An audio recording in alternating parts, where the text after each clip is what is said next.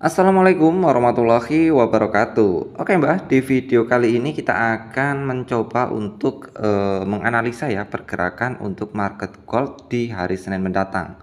Dan ini tepatnya hari Minggu, ini sebenarnya Simbah masih sibuk banget ya karena ini kebetulan juga masih hari raya. Jadi masih banyak banget saudara-saudara yang datang. Tetapi uh, kita akan coba untuk menganalisa pergerakan market gold ke depannya. Nah, di sini jika kita cek secara daily time frame ya Mbak, di sini terbentuk sebuah pola namanya bearish engulfing. Jadi masih terbilang cukup kuat banget secara daily trade untuk pergerakan si gold ini e, laju turun Mbak. Tetapi apakah kita langsung bisa entry sell? Kita tunggu dulu Mbak. Nah, ini adalah bearish engulfing. E, dan ini di sini dia akan membuat sebuah pola CB ya Mbak ya. Ini ada satu candlestick kejepit, misalkan nih dia nanti turun break ya. Ini sumbunya terbreak secara sempurna maka valid untuk pergerakan gold itu cenderung akan turun. Dan targetnya itu ada pada zone yang sebelah sini Pak ini kalau untuk daily. Jadi kalau untuk uh, pemain uh, day trade eh apa namanya scale uh, kok scalping swing itu potensinya itu masih cukup kuat untuk turun bah selagi zona uh, ini tidak berbalik arah ya Oke, kita akan cek di H4. Di H4 masih sama ya, e, pergerakannya masih cenderung turun, tapi di sini kita belum kelihatan e, di mana untuk setup yang lebih jelas. Tetapi di sini ada setup yang lebih jelas itu di M30, Mbak. Nah, di M30 e, zona ini merupakan zona yang cukup valid dan juga cukup kuat banget.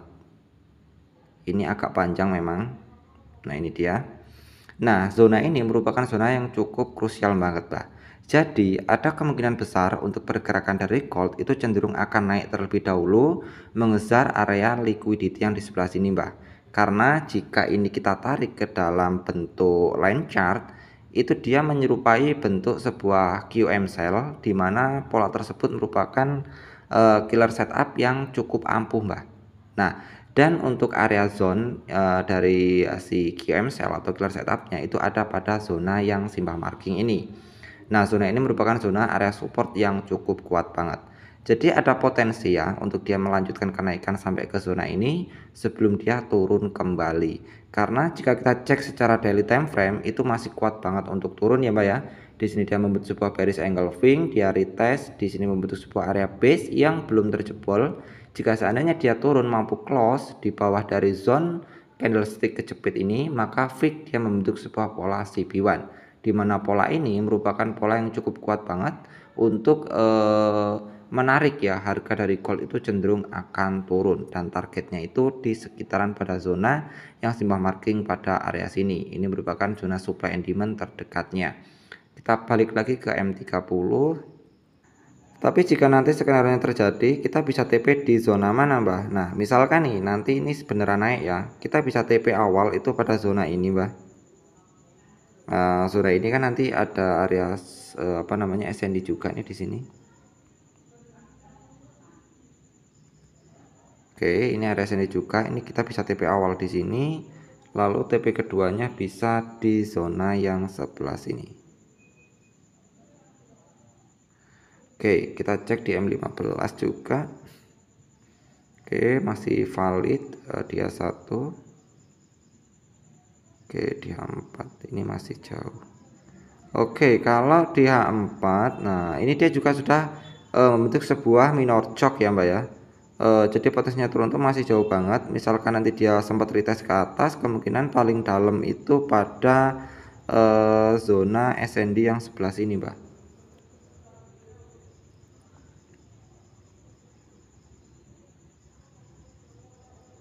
Nah, ini untuk jangka yang agak panjangnya.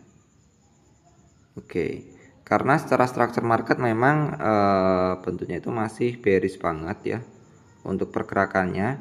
E, seandainya ini zona ini nanti kejebol, otomatis kan dia break pada e, zona candlestick kejepit ini mbak dan dia membentuk sebuah CP1 maka potensi kuat untuk turun sampai ke zona ini itu cukup tinggi banget.